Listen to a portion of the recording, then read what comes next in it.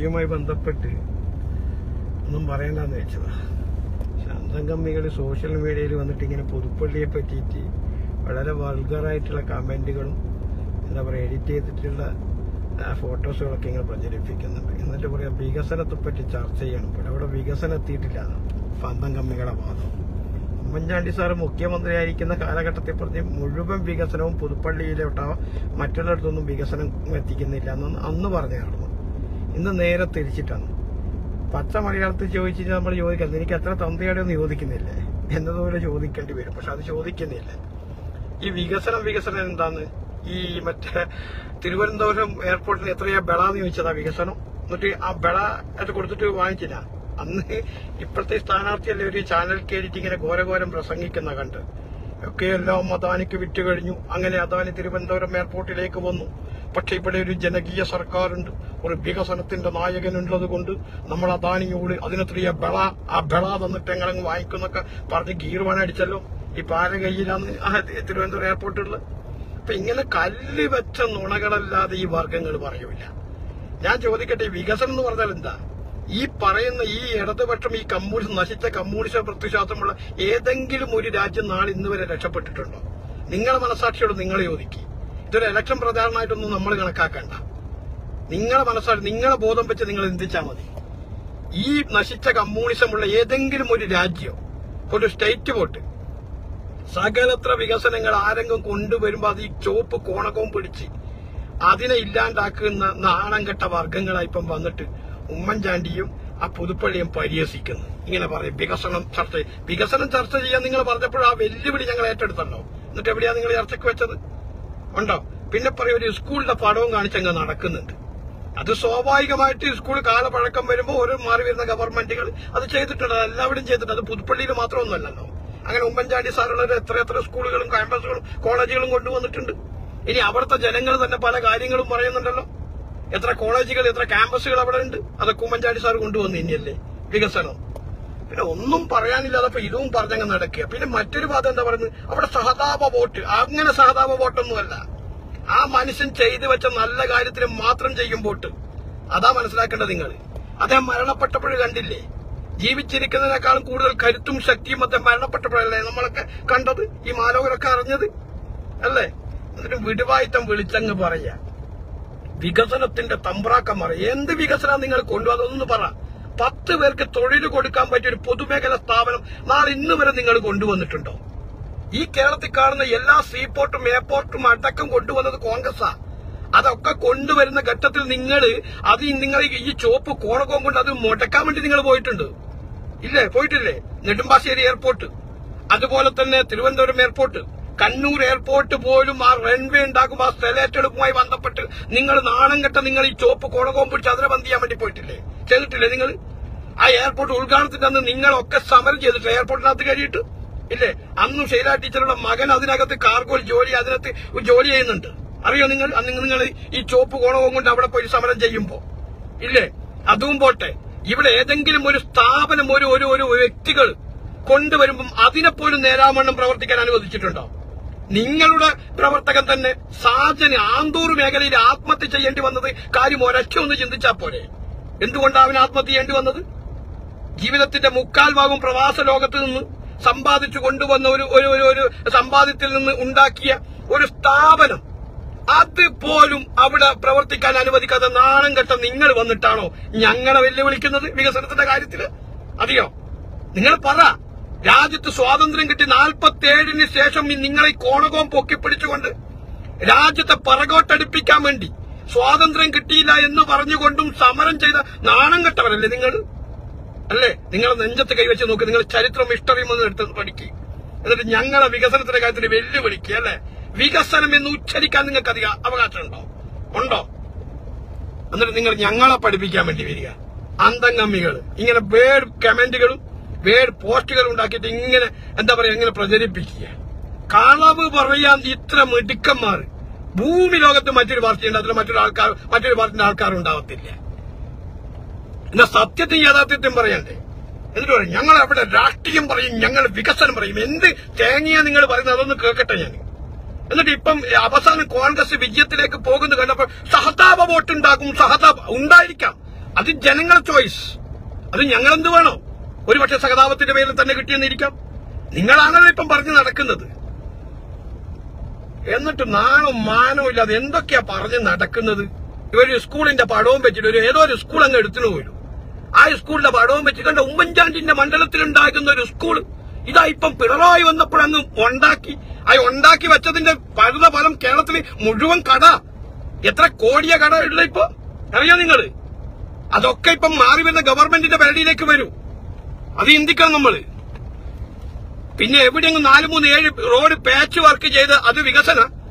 വികസനം എന്ന് പറയുന്നത് ഒരു പത്ത് പേർക്ക് തൊഴിൽ കൊടുക്കാൻ പറ്റിയ ഒരു പൊതുമേഖലാ സ്ഥാപനം. അത് കൊണ്ടുപോവാ നിങ്ങൾ എന്നിട്ട് നിങ്ങൾ കാണിക്കി. അത് ഞങ്ങൾ കൊണ്ടുവന്നിട്ടുണ്ട്.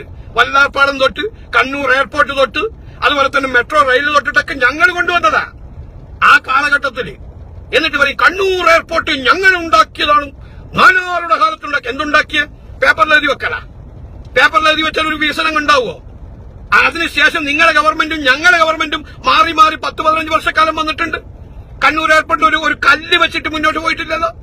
പിന്നെ വികസന കാഴ്ചപ്പാടോടുകൂടി വന്ന ഈ ഉമ്മൻചാണ്ടി ഗവൺമെന്റ് യുദ്ധകാലാടിസ്ഥാനത്തിൽ സെൻട്രൽ ഗവൺമെന്റ് അഞ്ഞൂറ്റി എഴുപത് കോടി കൂടെ പാസ്സാക്കിയിട്ട് ആദ്യം പൂർത്തീകരിക്കുന്നത് അങ്ങനെ ഉണ്ടാക്കിയതാ കണ്ണൂർ എയർപോർട്ട്.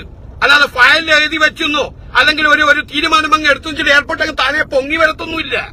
ഇതൊക്കെ ജനങ്ങൾക്കറിയാം. ഇതൊക്കെ ജനങ്ങൾ കാണുന്നുണ്ട്. ഇല്ലേ? കൊച്ചി മെട്രോ അതുപോലെ തന്നെ. തുടങ്ങി വെച്ചു പേപ്പറിൽ എഴുതി വെച്ചു. പക്ഷെ അതിനൊക്കെ പണി പൂർത്തീകരിച്ച്. ഇച്ഛാശക്തിയുള്ള ഒരു ഗവൺമെന്റിന്റെ നേതൃത്വത്തിൽ അത് പൂർണമായിട്ട് പണി പിന്നെ എന്താ പറയുന്നത് പൂർണമായിട്ട് പൂർണത ആക്കുന്നത് അതിനുശേഷം വന്ന് നാല് തൂണിന് വൈൻഡും അടിച്ച് നാണോ മാനോ ഇല്ലാതെ ഒരു എന്താ പറയുക രാജ്യത്തിന്റെ പ്രധാനമന്ത്രി നരസിംഹറാവു സംഖ്യകളെ കൊണ്ടുവന്ന് അത് ഉണ്ടാക്കിയവരൊക്കെ മാറ്റി നിർത്തിക്കൊണ്ട് അന്നത്തെ ബി ജെ പിന്റെ സ്റ്റേറ്റ് പ്രസിഡന്റ് കുമ്മനം കുമ്മനത്തിൽ ഞാൻ കൂട്ടിപ്പോയിട്ട് ഉദ്ഘാടനം ചെയ്ത് നാണം കെട്ടവരില്ലേ നിങ്ങൾ അല്ലേ? ആനാന്ത കുട്ടിയുടെ പിതൃത്വം ഏറ്റെടുക്കാൻ ഇത്ര മിടുക്ക് തെളിയിച്ച ഒരു വർഗം ഒരു പാർട്ടി ലോകത്തിൽ അത് നിങ്ങളാ. എന്നാ സ്വന്തമായിട്ട് കൊണ്ടുവന്ന ഏതെങ്കിലും ഒരു ആശയം മുന്നോട്ട് വെക്കുക. അതില്ല. എന്നിട്ട് ഇങ്ങനെ പറഞ്ഞ് നടക്കും ഒരു സ്കൂളിലെ പടവും വെച്ചിട്ട്. ഇതായിട്ട് പന്നി ഇനി അതവിടെ നിൽക്കട്ടെ. ഇതേപോലെ തന്നെ ഇടതുപക്ഷം വിജയിച്ചു കയറുന്ന ഏതെങ്കിലും ഒരു എം എൽ എയുടെ മണ്ഡലത്തിൽ ഇങ്ങനത്തെ എന്തെങ്കിലും സ്ഥാപനം അല്ലെങ്കിൽ എന്തെങ്കിലും കണ്ടുവന്നാൽ ഇതാ വികസനത്തിന്റെ നായകൻ ഏതെങ്കിലും ഗണേഷ് കുമാർ എം എൽ എയുടെ വികസന ഫണ്ടിൽ നിന്നും ആക്കി. അപ്പൊ അത് സി പി എമ്മിന്റെ എം എൽ എ. പക്ഷെ ഇവിടെ അതേ ഈ സ്കൂൾ ഉണ്ടാക്കുന്ന ഘട്ടത്തിലും അവിടെ പിന്നെ ആരാ എം എൽ എ? ഉമ്മൻചാണ്ടിയ. അപ്പം പിന്നെ ഉമ്മൻചാണ്ടിയുടെ വികസനത്തിൽ അത് പെടുത്തിക്കൂടെ അതെന്തുകൊണ്ട് പെടുത്തുന്നില്ല അപ്പൊ ഇതൊക്കെ ജനങ്ങൾ കൃത്യമായിട്ട് മനസ്സിലാക്കുന്നുണ്ട്. കേട്ടോ പച്ച കളവ് പറയല്ല. എന്തെങ്കിലും ജനങ്ങൾക്ക് വിശ്വസിക്കാൻ പറ്റിയ വിധത്തിലുള്ള കാര്യങ്ങൾ നിങ്ങൾ സംസാരിക്കും. നിങ്ങൾ പറ. രാഷ്ട്രീയം ചർച്ച ചെയ്യണം അത് ചെയ്യാം ഇനി വികസനത്തിന്റെ കാര്യമാണോ? അത് ചർച്ച ചെയ്യാം എന്താ തർക്കം ഇതിനകത്ത്? പക്ഷെ അതൊന്നും ചെയ്യാതെ അമ്പത്തിമൂന്ന് വർഷക്കാലം അദ്ദേഹത്തിന് അവിടുത്തെ ജനങ്ങൾ തെരഞ്ഞെടുത്തിട്ടുണ്ടെങ്കിൽ അവിടുത്തെ ഊളന്മാരല്ല പൊട്ടന്മാരല്ല നിങ്ങൾ മാത്രം മിടുക്കന്മാരും ബുദ്ധിയുള്ളവരും വലിയ ഗവേഷണമൊക്കെ നടത്തിയിട്ട് അവിടുത്തെ വികസനത്തിന്റെ കാഴ്ചപ്പാടോടുകൂടി മുന്നോട്ട് പോകുകയാണെങ്കിൽ എന്തുകൊണ്ട് നിങ്ങൾക്ക് അവിടെ വിജയിക്കാൻ കഴിയില്ല? ഈ അമ്പത്തിമൂന്ന് വർഷക്കാലം? അവിടുത്തെ ജനങ്ങളെ കൂമ്പന്മാർ സോറി മന്ദബുദ്ധികളാ? പറയുന്നതിനൊരു ലോജിക്ക് വേണ്ടേ? അവിടുത്തെ ജനങ്ങൾക്ക് കൃത്യമായിട്ട് അറിയാം എന്താണ് ഉമ്മൻചാണ്ടി സാറി? എന്താണ് ഇവിടെ കൊണ്ടുവന്നത്? എവിടുത്തെ വികസനം? അവിടുത്തെ ജനങ്ങൾക്കറിയാം. അതുകൊണ്ട് തന്നെയാണ് വോട്ട് ചെയ്തത്. പിന്നെ ഏതോ ഒരു ഊള കമന്റ് ഇട്ട് മുപ്പത്തി ആറായിരത്തിന് ഒമ്പതിനായിരം ലീഡ് കുറച്ചത്. അതിന്റെ മാറ്റത്തിന്റെ തലയൊടിയാണ് എവിടെ ലീഡ് കുറച്ചത്? എങ്ങനെയാണോ നിങ്ങൾ അങ്ങനെ പറയുന്നത്? അതാ പറയുന്നൊക്കെ അന്ന് ഉമ്മൻചാണ്ടി ഭരിക്കുമ്പോൾ കോട്ടയത്ത് കോള കോൺഗ്രസ് എമ്മക്ക് ഞങ്ങളുടെ കൂടെ ഉണ്ടായിട്ടുണ്ട്.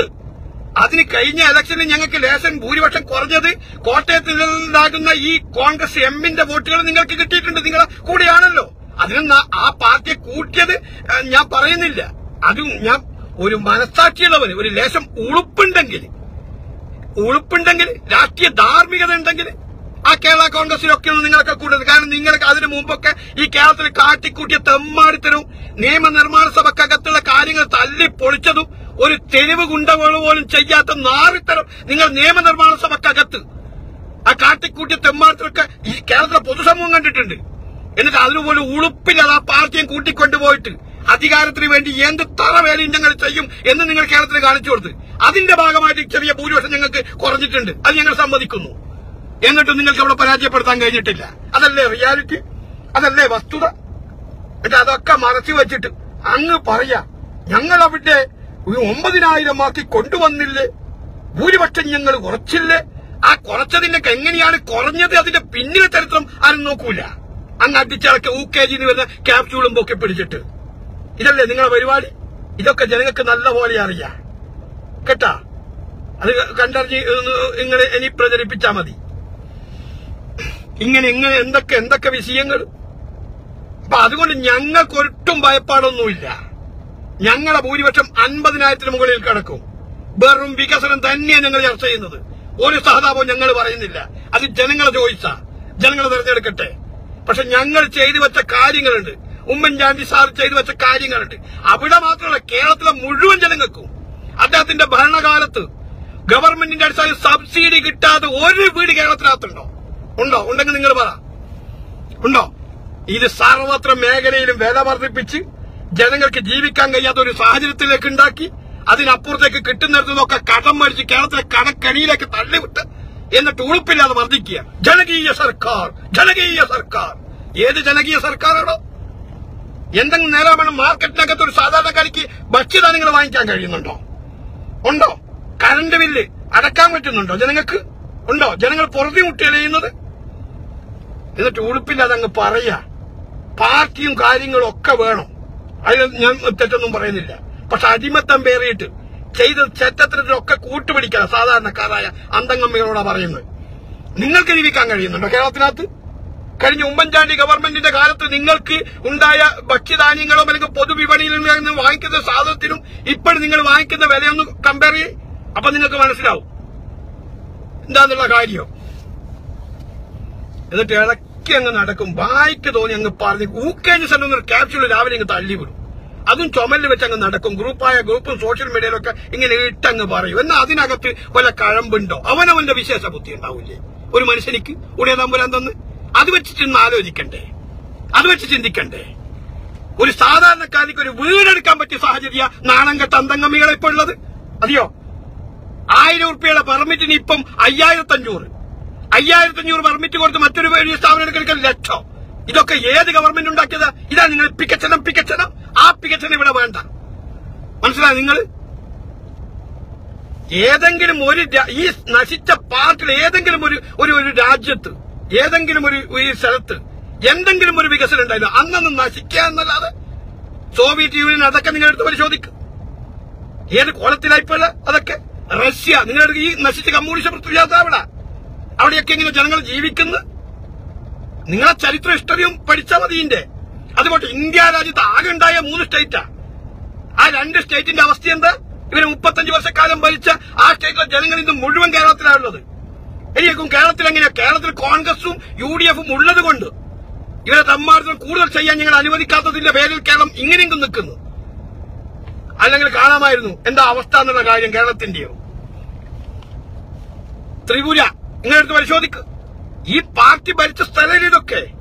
അവിടെയൊക്കെ ഞാൻ മനസ്സിലാക്കുന്നത് ഇന്നും വൈദ്യുതി എത്താത്ത ചില ഗ്രാമങ്ങളുണ്ട്.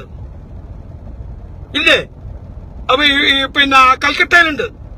ഈ പശ്ചിമ ബംഗാളിന്റെ ചില ഭാഗങ്ങൾ. എന്നിട്ട് വന്നിട്ട് പറയും ഞങ്ങൾക്ക് വികസനം ചർച്ച ചെയ്യാം വികസനം ചർച്ച ചെയ്യാം വികസനം അങ്ങനെ ചർച്ച ചെയ്യും നിങ്ങൾ. എന്നിട്ട് പറ നിങ്ങൾ. കേൾക്കട്ടെ ബാക്കിയുള്ള മാലോകർ കേൾക്കട്ടെ. അവസാന ലാപ്പിൽ പിന്നെ വ്യക്തിയത്തെ ഇതൊക്കെ ജനങ്ങൾക്ക് കൃത്യമായിട്ട് അറിയാം. പിന്നെ പറഞ്ഞാലും ഇത് കൊണ്ടല്ലോ. പിന്നെ ഏതൊരു ഊള ചാനൽ ചർച്ചയിലുണ്ട്.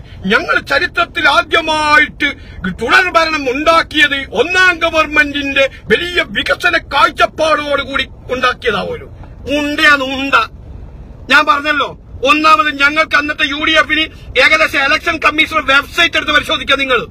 ഇരുപത്തഞ്ച് സീറ്റിൽ ഞങ്ങൾ എത്ര വോട്ടിനാണ് പരാജയപ്പെട്ടെന്നുള്ള കാര്യം. ആ പരാജയപ്പെടേണ്ടായ കാര്യം ഞാൻ നിങ്ങളോട് പറഞ്ഞല്ലോ. ഞങ്ങളുടെ കൂടെ ഉണ്ടായ ഘടകകക്ഷികൾ ഒന്ന് രണ്ട് ഘടകകക്ഷികൾ ആ ഇടതുവശത്തേക്ക് ചാഞ്ഞപ്പോൾ ചെറിയ മാർജിനിൽ ഞങ്ങൾ പരാജയപ്പെട്ട് അതിന്റെ അടിസ്ഥാനത്തിൽ തുടർഭരണം നിങ്ങൾക്ക് കിട്ടിയിട്ടുണ്ട്. അല്ലാതെ ജനങ്ങൾ അംഗീകരിച്ചിട്ടൊന്നുമല്ല. ചില അധികാരം തലക്കുമുത ചില നേതാക്കന്മാരുടെ തെറ്റായ നയത്തിന്റെ ഭാഗമായിട്ട്. അല്ലാതെ നിങ്ങളെ പിണറായിന്റെ അങ്ങ് വലിയ ജനകീയതയും ജനങ്ങളെ സേവിക്കുന്ന സർക്കാരായിട്ടൊന്നുമല്ല. അങ്ങനെയാണെങ്കിൽ തുടർഭരണം ബി ജെ പി ഉണ്ടാക്കിയിട്ടുണ്ടല്ലോ. പിന്നെ അതിന് ഞങ്ങൾ അംഗീകരിക്കേണ്ടി വരുമല്ലോ. ബി ജെ പിക്ക് തുടർഭരണം കിട്ടിയത് അവരുടെ വലിയ വികസനത്തിന്റെ കാഴ്ചപ്പാടോട് കൂടിയിട്ട്. അറിയോ അങ്ങനെ ഓരോ കൃത്രിമത്തിലെ കൂടി നിങ്ങളൊക്കെ അധികാരത്തിലേക്ക് വന്നിട്ടുണ്ട്. തുടർഭരണം ഉണ്ടാക്കിയിട്ടുണ്ട്. പക്ഷെ അത്തരം ചെറ്റത്തരവും തെമ്മാടത്തരവും കോൺഗ്രസോ യു ഡി എഫോ ചെയ്യത്തില്ല. ഞങ്ങൾ പറഞ്ഞിട്ടുണ്ട് ഞങ്ങൾ ചെയ്ത കാര്യങ്ങൾ പൊതുസമൂഹത്തിന്റെ മുമ്പിലേക്ക് ഡയറക്റ്റ് ആയിട്ട് വെക്കും. അത് ഞങ്ങൾ സത്യമായിട്ട് പറയും. തെറ്റാണെങ്കിൽ തെറ്റി എന്ന് തന്നെ പറയും. വീഴ്ചകളുണ്ടെങ്കിൽ ഞങ്ങൾ തിരുത്തും. പക്ഷെ ഞങ്ങൾ പറയുന്ന കാര്യം ഉൾക്കൊണ്ട് ഞങ്ങളോടൊപ്പം നിന്ന് ഞങ്ങൾക്ക് വോട്ട് ചെയ്താൽ ഞങ്ങൾ അധികാരത്തിലേക്ക് വരും. അല്ലാതെ കിമ്മിക്ക് കാണിച്ചിട്ടും അധികാരം പിടിച്ചെടുക്കാൻ വേണ്ടി ഈ തെമ്മാടത്തരം ചെയ്തിട്ടും പച്ച കളവുകൾ പറഞ്ഞിട്ടും ഞങ്ങൾ അധികാരത്തിലേക്ക് വരത്തില്ല. അത് ഞങ്ങൾ അന്നത്തെ സ്റ്റേറ്റ് ഓൾ ഇന്ത്യ പ്രസിഡന്റായ ശ്രീ രാഹുൽ ഗാന്ധി വളരെ കൃത്യമായി പറഞ്ഞു വെച്ചിട്ടുമുണ്ട് ആയിരം ഇലക്ഷനിൽ ഞങ്ങൾ പരാജയപ്പെടേണ്ടി വന്നാലും ജനങ്ങളോട് പൊള്ളയായ വാഗ്ദാനം കൊടുത്തോ അല്ലെങ്കിൽ തെറ്റായ രീതിയിൽ ജനങ്ങളെ മതത്തിന്റെ പേരിൽ ഭിന്നിപ്പിച്ചോ ഞങ്ങൾ അധികാരത്തിലേക്ക് വരത്തില്ല എന്ന് വളരെ കൃത്യമായി അർത്ഥസംഘക്കടയില്ലാത്ത ഈ രാജ്യത്തുള്ള മാലോകരോട് ഞങ്ങൾ പറഞ്ഞു വെച്ചിട്ടുണ്ട്. അത് അങ്ങനെ തന്നെയാണ് ഞങ്ങൾ മുന്നോട്ട് പോകുന്നത്. അത് നിങ്ങൾ മനസ്സിലാക്കിക്കോ കേട്ടോ? അല്ലാതെ ഞങ്ങൾക്ക് അധികാരത്തിലേക്ക് എത്താനും അധികാരം ഏത് വഴിയിലെ കൂടി പിടിച്ചെടുക്കാനുള്ള കഴിവും നല്ല ബുദ്ധിയുള്ള നേതാക്കന്മാർക്ക് ഞങ്ങൾക്കും ഉണ്ട്. അത് നിങ്ങൾ മനസ്സിലാക്കിക്കോ. പക്ഷെ ഞങ്ങൾ ആ വഴിക്കേക്ക് ഞങ്ങൾ പോകത്തില്ല. ഞങ്ങൾ പറഞ്ഞു ഇന്നല്ലെങ്കിൽ നാളെ കോൺഗ്രസ് ആയിരുന്നു ശരിയെന്ന് ഈ രാജ്യത്തുള്ള മാലോകര് പറയും. മാലോകര് ഞങ്ങളെ കൊണ്ടുവരും. അതുവരെ ഞങ്ങൾ പുറത്തിരുന്ന് കളിക്കളത്തിൽ പുറത്തിരുന്ന് കളി കാണും ഞങ്ങൾ. നിങ്ങൾ എന്തൊക്കെ ഇവിടെ കാട്ടിക്കൂട്ടും നോക്കട്ടെ. ഇപ്പം തന്നെ മനസ്സിലായല്ലോ? കണ്ണു പോയി കണ്ണു പോയാലേ കണ്ണിന്റെ കാഴ്ച അറിയൂ. ഇപ്പൊ രാജ്യത്തുള്ള ജനങ്ങൾക്ക് ബഹുഭൂരിപക്ഷം വരുന്ന ജനങ്ങൾക്ക് കോൺഗ്രസ് എന്തായിരുന്നു എന്ന് ഇപ്പൊ മനസ്സിലാക്കി ബോധം വെച്ച് തുടങ്ങിയിട്ടുണ്ട്. കോൺഗ്രസ് എന്തായിരുന്നു മനസ്സിലാക്കി തുടങ്ങിയിട്ടുണ്ട്. അതുകൊണ്ട് നിങ്ങൾ ഈ പറയുന്ന ഈ പച്ചക്കളവും കല്ല് വെച്ച നുണയും കേട്ടിട്ട് നിങ്ങൾ അങ്ങ് ജയിച്ച് കയറിക്കളിയ എന്നതാണെന്ന് നിങ്ങൾക്ക് വേണ്ട. ഞങ്ങൾ എന്തായിരുന്നു കോൺഗ്രസ് എന്തായിരുന്നു കോൺഗ്രസിന്റെ ഐഡിയോളജി എന്താണെന്നും ഇന്ന് ബോധമുള്ള ജനങ്ങൾക്ക് രാജ്യത്തുള്ള മുഴുവൻ ജനങ്ങൾക്കും കൃത്യമായിട്ട് മനസ്സിലായിട്ടുണ്ട്. അത് മനസ്സിലാക്കിയിട്ടുമുണ്ട്. അതിന്റെ അലയോടികൾ തന്നെയാണ് ഞങ്ങൾ ഉത്തരേന്ത്യ സ്റ്റേറ്റിനകത്തൊക്കെ ഞങ്ങൾ കൃത്യമായിട്ട് പ്രവർത്തിക്കുക പോലും ചെയ്യാതെ സ്റ്റേറ്റിലേക്ക് ഇലക്ഷൻ ബൈ ഇലക്ഷൻ ഒക്കെ വരുമ്പോൾ ഞങ്ങൾ ബഹുഭൂരിപക്ഷത്തിൽ മൂന്നിൽ രണ്ട് ഭൂരിപക്ഷമൊക്കെ കൊണ്ട് വിജയിച്ച് കയറി വരുന്നത് അതാണ് കർണാടകത്തിലൊക്കെ ഞങ്ങൾ കണ്ടത്. അല്ലേ? ഇപ്പം രണ്ട് മൂന്ന് സ്റ്റേറ്റിനകത്ത് ഇലക്ഷൻ പ്രഖ്യാപിക്കും. അപ്പൊ അതിനകത്ത് തന്നെ ഇപ്പം തന്നെ പിന്നെ സർവേ ഫലങ്ങളൊക്കെ എന്താ പുറത്തു വരുന്നത്? അപ്പൊ അതൊക്കെ ജനങ്ങൾ കോൺഗ്രസിലേക്ക് വിശ്വാസം അർപ്പിക്കുന്നുണ്ട്. നിങ്ങൾ കളവുകളൊക്കെ അതങ്ങ് മാറ്റിവെക്കണി ആർ എസ് എസും ബി സി പി എമ്മും നിങ്ങൾ രണ്ടും ഒരേ എന്താ നാണയത്തിന്റെ ഒരു വശം രണ്ട് വശം ഒരു വശം തന്നെയാ നിങ്ങൾ. അത് ഞങ്ങൾക്ക് നല്ലപോലെ അറിയാം. അത് രാജ്യത്തുള്ള ജനങ്ങൾക്കും മനസ്സിലാക്കി തുടങ്ങിയിട്ടുണ്ട്. അതുകൊണ്ട് ഈ പച്ച കളവ് പറഞ്ഞ അവിടെ അത് അവസാനിപ്പിക്കും. നിങ്ങൾ ഈ സർക്കാരിന്റെ നേട്ടങ്ങളും സർക്കാർ ജനങ്ങൾക്ക് ചെയ്യുന്ന കാര്യങ്ങളും പറ്റി സംസാരിക്കാൻ തയ്യാറുണ്ടോ നിങ്ങൾ? ഉണ്ടോ? ഒരു പോസ്റ്റ് ഉണ്ടാക്കി നിങ്ങൾ? പിന്നെ പറയും പെൻഷൻ കൊടുത്തില്ല പെൻഷൻ കൊടുത്തില്ല. എന്റെ പെൻഷൻ കൊടുത്തില്ല ഇപ്പം പെൻഷൻ എത്രയായി ബന്ധായിട്ട്? ആയിരത്തി ഇരുന്നൂറിന് അറുന്നൂ ഉമ്മൻചാണ്ടിക്ക് പോകുമ്പം അറുന്നൂറേ ഉള്ളൂ. എന്നിട്ട് അതിപ്പോ ആയിരത്തി അറുന്നൂറാക്കി എന്ത് പല്ലിവച്ച നുണയാ പറയുന്നത്.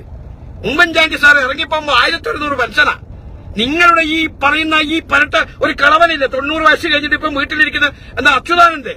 അദ്ദേഹം ഭരിക്കുന്ന കാലത്ത് അറുന്നൂറും നാനൂറും കൊടുത്തത്. അത് അതും സമ്പൂർണ പെൻഷൻ പദ്ധതി ഇല്ല മനസ്സിലാക്കിക്കോ നിങ്ങൾ അതിൽ നിന്നൊരു മാറ്റം കൊണ്ടുവന്നിട്ടാണ് ഉമ്മൻചാണ്ടി സാറ് സമ്പൂർണ പദ്ധതി പെൻഷൻ പദ്ധതി അത് നടപ്പാക്കി. എല്ലാവർക്കും പെൻഷൻ കൂട്ടി കൊടുത്തത് ഞങ്ങളാ. അതിന്റെ തുടരായിട്ടാണ് നിങ്ങളിപ്പം പിന്നെ മുന്നോട്ട് പോയത്. അല്ലാതെ നിങ്ങൾ പറയുന്നത് പിണറായി വൈവിധ്യം വന്നപ്പോൾ മാത്രമാണ് ഇവരെ പെൻഷൻ കൊടുത്തു തുടങ്ങിയത് എന്നുള്ള ധാരണയൊന്നും നിങ്ങൾ അങ്ങനെയൊന്നും പരത്താൻ നിൽക്കണ്ട. അതൊക്കെ ജനങ്ങൾക്ക് കൃത്യമായിട്ട് അറിയാം. ഇങ്ങനെ പച്ചക്കളവുകൾ അത് അവസാനിപ്പിക്കുക രാഷ്ട്രീയം പറഞ്ഞു. നിങ്ങൾക്ക് ചെയ്ത കാര്യങ്ങൾ പറ. എന്നിട്ട് നിങ്ങൾ വോട്ട് പിടിക്കുക എന്നിട്ട് നിങ്ങൾ വിജയിച്ചു കയറാൻ പറ്റുമോ നോക്ക്. അല്ലാതെ ഈ ഉടായ്പും പറഞ്ഞ് എന്ത് പറയുമ്പോ ചാനൽ ചർച്ചയിൽ ഞങ്ങളുടെ ഭരണത്തിന്റെ മഹിമ കൊണ്ടല്ലേ രണ്ടാം തുടർ ഭരണ ചരിത്രത്തിൽ ആദ്യമായിട്ടുണ്ടായത്? അതെ. ആ അത് കൃത്യമായിട്ട് ബോധമുള്ള ജനങ്ങൾക്കറിയാം എങ്ങനെയാ തുടർ ഭരണം ഉണ്ടായത്? കോവിഡിന്റെ എന്താ മുതലെടുത്ത് വീട്ടിനകത്ത് പോയിട്ട് പ്രായമുള്ളവരെ വോട്ട് ചെയ്യാൻ വേണ്ടിയിട്ട് ഒരു പറ്റിയുണ്ടാക്കി നിങ്ങൾ നിങ്ങൾ ഓഫീസർമാരെ ഒക്കെ ആക്കിയിട്ട് അവിടെയുള്ള ഓപ്പൺ വോട്ട് മുഴുവൻ നിങ്ങളെ പറ്റിയിലേക്ക് കുത്തിയിട്ട്. ഇതല്ലേ വസ്തുത? അല്ലേ? പിന്നെ കോൺഗ്രസിന്റെ പ്രവർത്തകന്മാരും ഈ ഫൈറ്റിങ്ങിന് നിൽക്കത്തില്ല. ഈ ഭീഷണിക്ക് ഞങ്ങൾ ഭീഷണിപ്പെടുത്തത്തില്ല ഞങ്ങൾ. നിങ്ങൾ അങ്ങനെയല്ലല്ലോ. നിങ്ങൾ അധികാര സ്വാധീനം ഉപയോഗിച്ചും ഗുണ്ടകൾ നിർത്തിക്കൊണ്ടും നിങ്ങൾ വോട്ടുകൾ നിങ്ങൾ നിങ്ങൾ ഇഷ്ടം പോലെ നിങ്ങൾ കുത്തിയങ്ങുണ്ടാക്കി അതിന് പുറമെ ഈ പറയുന്ന ഡി എഫിനൊക്കെ നിൽക്കുന്ന രണ്ട് മൂന്ന് ഘടകകക്ഷികൾ മാറി നിങ്ങളോടൊപ്പവും വന്നു. അപ്പൊ ഇതൊക്കെ ഒരു ഒരു ഒരു ഇതായതിനു ശേഷം നിങ്ങൾക്ക് തുടർ ഭരണം ഉണ്ടായി. അതാ ഞാൻ പറഞ്ഞത്. ഇരുപത്തഞ്ച് സീറ്റിൽ ഞങ്ങൾ പരാജയപ്പെട്ട വോട്ടിംഗ് പാറ്റേൺ ഇലക്ഷൻ കമ്മീഷൻ വെബ്സൈറ്റിൽ അതാ. നിങ്ങൾ ഊക്കാറ്റ് സെന്റർ മാത്രം ശ്രദ്ധിക്കല്ല. അത് പോയിട്ട് ചെക്ക് ചെയ്യ്. ഞങ്ങൾ എവിടെയൊക്കെ എത്രയൊക്കെ വോട്ടിലാണ് പരാജയപ്പെട്ടത്? അപ്പൊ അത് മനസ്സിലാക്കി തന്നെ കൃത്യമായി മനസ്സിലാക്കാൻ പറ്റൂ. അല്ലാതെ നിങ്ങളെ പവർ കൊണ്ടും നിങ്ങളെ പിണറായിന്റെ അങ്ങ് വലിയ ഉണ്ടാക്കിയത് കൊണ്ടൊന്നുമല്ല തുടർഭരണം ഉണ്ടായത്. കേട്ടാ? അത് മനസ്സിലാക്കിക്കോ നിങ്ങൾ. ഇത് കുറെ കാലം ഞങ്ങൾ കേൾക്കൽ തുടങ്ങി. ഇത് കുറെ ദിവസമായി. ഞാൻ പിന്നെ ഒന്നും പറയണ്ട പറയണ്ടെന്ന് വെച്ച് നിന്നതാ. പക്ഷെ ഇത് നിങ്ങൾ അണ്ണാക്കിയിട്ട് കോൺഗ്രസിന്റെ അണ്ണാക്കിയിട്ട് കുട്ടാൻ വരേണ്ടി വേണ്ട ഞങ്ങളുടെ പ്രിയപ്പെട്ട മൺമറിഞ്ഞു പോയ നേതാവിനെ നിങ്ങൾ ആക്ഷേപിക്കണ്ട. അത് വികസനം ഇല്ലാഞ്ഞിട്ടാണ് മറ്റില്ലാഞ്ഞിട്ടാണ് നിങ്ങൾ തന്നെ രണ്ട് ഇഴയ്ക്ക് ജനിച്ച വർത്താനം പറയരുത്. ഒരു കാലഘട്ടത്തിൽ ഉമ്മൻചാണ്ടി ഉമ്മൻചാണ്ടി മുഖ്യമന്ത്രിയായിരുന്ന കാലഘട്ടത്തിൽ ഈ ഇപ്പം പറഞ്ഞു മുഴുവൻ അങ്ങോട്ടേക്കാ പോകുന്നു മുഴുവൻ അങ്ങോട്ടേക്കാ പോകുന്നത് ഇപ്പൊ മരണപ്പെട്ട് ഇലക്ഷൻ വന്നപ്പോഴേ ഇവിടെ വികസനയായില്ല ഞങ്ങൾക്ക് വികസനം ചർച്ച ചെയ്യാം എന്തെന്നാ നിങ്ങളെ കുറെ ചർച്ച ചെയ്ത് ചെയ്തിട്ട് അൻപത്തിമൂന്ന് വർഷം അവിടെ ഒരു മനുഷ്യ അവിടെ വിജയിച്ച് കയറി. അതത്രേ വേണ്ടു. അപ്പൊ അവിടുത്തെ ജനങ്ങൾക്ക് കൃത്യമായിട്ട് അറിയാം. അല്ലാതെ ഇങ്ങനെ കണ്ണൂരിന്നും മറ്റേ ഇടുക്കിന്നും പാലക്കാടിന്നൊക്കെ കയറി പോയിട്ട് അവിടെ പോയിട്ട് വികസനയില്ലേ ഇല്ലേ വികസനം ഇല്ലേ എന്ന് മൊക്കറിട്ട് കരഞ്ഞോണ്ടൊന്നും ഒരു കാര്യമില്ല പുതുപ്പള്ളിക്കാരോട് ചോദിക്കും നിങ്ങൾ. ആ നാട്ടിൽ ജീവിക്കുന്നവരോട് ചോദിക്കും. എന്നിട്ട് പറയാം നമുക്ക് നമുക്ക് സംസാരിക്കാം. എവിടെയെങ്കിലും ഇരുന്നിട്ട് എവിടെന്നെങ്കിലും മൂക്കേജി സെന്ററിൽ നിന്ന് കിട്ടുന്ന കേട്ട് കഥയെ പോക്കിയിട്ടെങ്കിൽ വരും. ക്യാപ്സ്യൂൾ രൂപത്തിൽ ഉണ്ടാക്കുമല്ലോ വൈകുന്നേരം ആകുമ്പോ അത് രാവിലെ എടുത്തിട്ട് തള്ളസംഗം തുടങ്ങും. എന്നാൽ അതിനകത്ത് ശരിയുണ്ടോ തെറ്റുണ്ടോ? ഇപ്പൊ ഞാനൊരു കോൺഗ്രസ്സുകാരനാ. പക്ഷെ കോൺഗ്രസിന്റെ ചില നേതാക്കന്മാർ പറയുന്നതൊക്കെ ഞാൻ ശരിക്കും ശ്രദ്ധിക്കൂ. കാരണം അത് തെറ്റുണ്ടെങ്കിൽ തെറ്റ് തന്നെ ഞാൻ പറയലുണ്ട്. ഞങ്ങൾക്കങ്ങനെ അടിമത്തം സ്വീകരിച്ചുള്ള ഒരു പൊളിറ്റിക്കലൊന്നും എനിക്കൊന്നുമില്ല. പക്ഷെ ഗവൺമെന്റ് ആര് വന്നാലും ജനങ്ങൾക്ക് ഉപകാരപ്പെടണം. ജനങ്ങൾക്ക് സ്വസ്ഥമായി സൗകര്യമായിട്ട് ജീവിക്കാൻ കഴിയണം. അങ്ങനെ കഴിയുന്ന ഗവൺമെന്റ് ആണോ ഇന്ന് കേരളത്തിലുള്ളത്? നിങ്ങൾ ചിന്തിക്ക്. ഇപ്പൊ ഒരു ആയിരം രൂപ ഒരുത്തർക്ക് കൂലി കിട്ടുമ്പോ ഒരു കുടുംബം രണ്ട് മക്കളുടെ ഒരു കുടുംബത്തെ മുന്നോട്ട് കൊണ്ടുപോകാൻ കഴിയുന്നില്ല. അങ്ങനെ വില പൊന്തിയില്ലേ?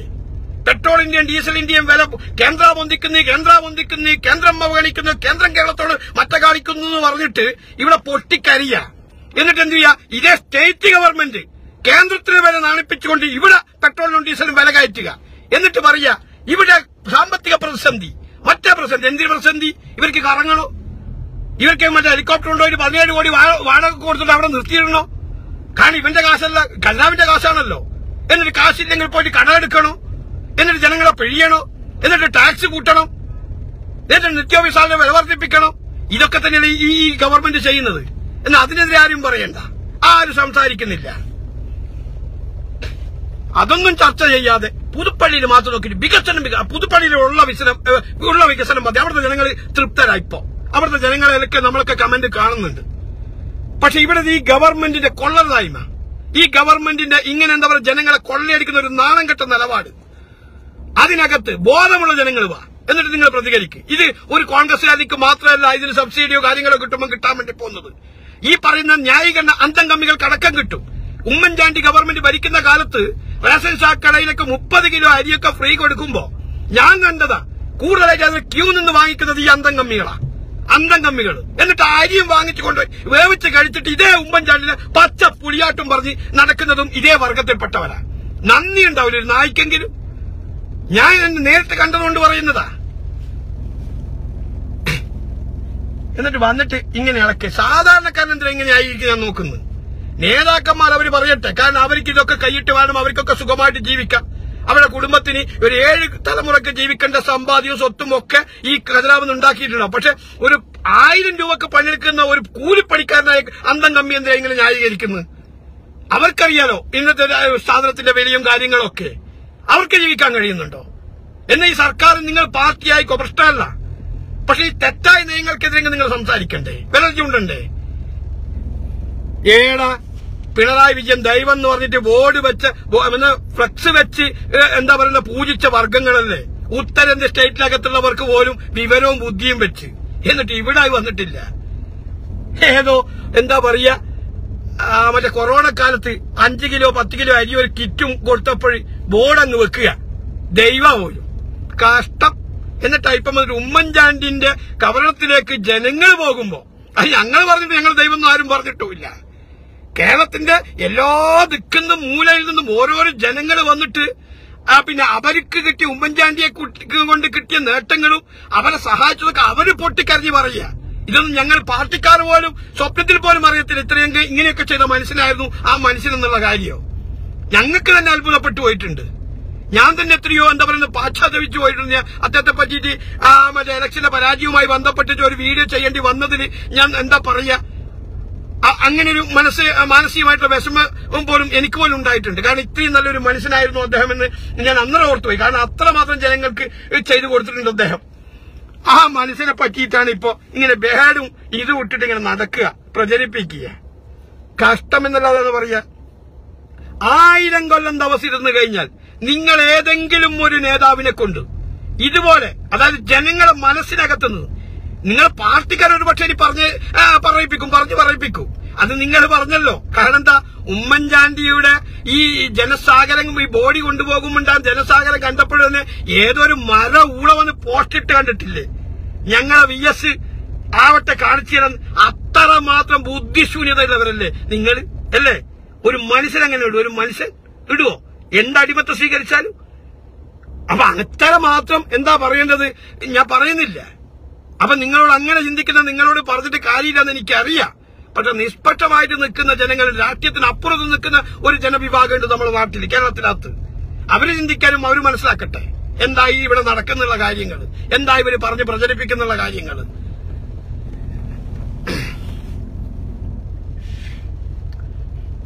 അതുകൊണ്ട് നിങ്ങൾ ഇനി എന്ത് മൊക്കറായിട്ട് കരഞ്ഞാലും ഒരു ലക്ഷ്യമില്ല അൻപതിനായിരത്തിൽ കുറയാതെ ഭൂരിപക്ഷത്തിൽ പ്രിയപ്പെട്ട ചാണ്ടിയുമ്മൻ അവൻ വിജയിച്ച് കയറുമ്പോഴും നിങ്ങൾ ഇതേ പ്ലാറ്റ്ഫോമിലും ഇതേ സോഷ്യൽ മീഡിയയിലും ഇതേ പോസ്റ്റുമായിട്ട് വരണം കേട്ടാ. അന്ന് പിന്നെ വാക്ക് മാറ്റല്ലേ? അന്ന് നിങ്ങൾ എന്താ പറയാൻ ഉദ്ദേശിക്കുന്നത് അറിയാം? അത് സഹതാപത്തിന്റെ വോട്ടാണെന്നാ പറയാ നിങ്ങൾ. എങ്ങനെ? അത് ഉമ്മൻചാണ്ടിയുടെ സഹതാപത്തിന് ഒരു സഹതാപം ഇപ്പൊ ഞാൻ പച്ചക്ക് പറയുന്നു ഒരു സഹതാപവും ഇല്ല. ഞങ്ങൾ ഉമ്മൻചാണ്ടി സാർ ചെയ്തു വെച്ച വികസനം മാത്രമേ ഞങ്ങളിപ്പം പറയുന്നുള്ളൂ. അത് മാത്രമേ ജനങ്ങളുടെ മുമ്പിലേക്ക് എത്തിക്കുന്നുള്ളൂ. ആ വികസനത്തിന്റെ തുടർച്ചക്ക് അദ്ദേഹത്തിന്റെ മകൻ തന്നെ സ്ഥാനാർത്ഥി. അദ്ദേഹത്തിന് തുടർച്ച ഉണ്ടാക്കണം. അതിനു വേണ്ടി തന്നെ പാർട്ടി നിയോഗിച്ചത്. പിന്നെ പറഞ്ഞ് മക്കൾ രാഷ്ട്രീയം. ആ മക്കൾ രാഷ്ട്രീയം തന്നെ. കാരണം എന്താ? നല്ല പ്രിവിലേജും ക്രെഡിബിലിറ്റിയും സമൂഹത്തിന് എന്താ കൊള്ളിക്കാൻ പറ്റിയ മക്കൾ ഉണ്ടാകുമ്പോ സ്വാഭാവികമാണ്. അത് നിങ്ങളെ നേതാക്കന്മാർക്ക് ഇല്ലാത്തത് ഞങ്ങളെ കുറ്റാണോ? കോൺഗ്രസിന്റെ കുറ്റാണോ? നിങ്ങൾ ഓരോ നേതാക്കന്മാരുടെ മക്കളെടുത്ത് പരിശോധിക്ക് ഹിസ്റ്ററിയൊക്കെ ബാക്ക്ഗ്രൗണ്ട് ഞങ്ങളെ നേതാക്കന്മാരുടെ മക്കളുടെ ഇഷ്ടം എടുത്ത് പരിശോധിക്ക്. ഞങ്ങൾക്ക് നാലാളുടെ മുമ്പിൽ ചൂണ്ടിക്കാണിക്കാൻ പറ്റും. ഇല്ലേ? ഇപ്പൊ രാഹുൽ രാജീവ് ഗാന്ധിന്റെ മകൻ. ഇന്ദിരാഗാന്ധിയുടെ മകൻ രാജീവ് ഗാന്ധിയെ ഞങ്ങൾ ചൂണ്ടിക്കാണിച്ചു ജനങ്ങളോട് മാലവർക്ക് അവർ നല്ല ഭൂരിപക്ഷത്തിൽ വിജയിപ്പിച്ചു അപ്സെറ്റ് ചെയ്തു. അതിനുശേഷം രാജീവ് ഗാന്ധിയുടെ ശേഷം ഞങ്ങൾ ചൂണ്ടിക്കാണിച്ചു രാഹുൽ ഗാന്ധി പ്രിയങ്ക ഗാന്ധിയും. ജനങ്ങൾ അപ്സെറ്റ് ചെയ്യുന്നു. അങ്ങനെ ഞങ്ങൾക്ക് കൊള്ളാവുന്ന മക്കളും കൊള്ളാവുന്ന തറവാട്ടിൽ പിറവിയെടുത്ത മക്കളും ഞങ്ങൾ കാണിക്കും. അതുകൊണ്ട് നിങ്ങൾ അസൂയപ്പെട്ടിട്ട് നിങ്ങൾക്ക് നേതാക്കന്മാർക്ക് ഇത്ര ക്വാളിറ്റിയുള്ള മക്കളില്ലാത്തത് കൊണ്ട് അത് കോൺഗ്രസിന്റെ പേടിയിലേക്ക് വെച്ചിട്ട് മക്കൾ രാഷ്ട്രീയം മക്കൾ രാഷ്ട്രീയം എന്ന് പറയണ്ട.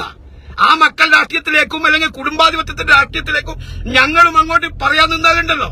അവിടെ നിങ്ങോളം വരെ ഞങ്ങളും മണ്ണും പക്ഷെ ആ എണ്ണും പെണ്ണും എന്താ ആ മക്കൾ രാഷ്ട്രീയ കുടുംബാധിപത്യ രാഷ്ട്രീയം വെച്ചിട്ടോ നിങ്ങൾക്കൊരു നേട്ടം ഉണ്ടായിട്ടില്ല. ജനങ്ങൾ അർഹിക്കുന്ന അവജ്ഞത തള്ളിക്കളയാ ചെയ്തത്. പക്ഷെ ഞങ്ങൾ അങ്ങനെയല്ല. അത് നിങ്ങൾ മനസ്സിലാക്കിക്കോ. ഓക്കെ? കൂടുതലൊന്നും ഇപ്പൊ ഞാൻ പറയില്ല. ബാക്കി പിന്നീട് സംസാരിക്കാം ഓക്കെ?